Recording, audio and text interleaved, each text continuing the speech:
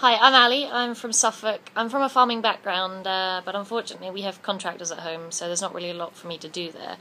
I studied agriculture and farm management at uni, and I was really worried that when I came out there wouldn't be any work for me, and there wasn't. Um, but I started my own little poultry business, and I've got six or seven different breeds of bantam and chicken, and it doesn't make any money, but I absolutely love it.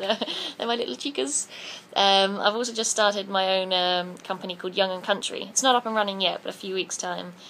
Uh, where it's a kind of an educational social website where anyone and everyone that's interested in agriculture, equestrian, country pursuits can come and find about out about different courses, what everyone else is doing, um, and just be inspired really because I feel like we've all fallen out of love with the British agriculture and the countryside, and uh, I just feel like this is a great opportunity for me to inspire people to fall back in love with it.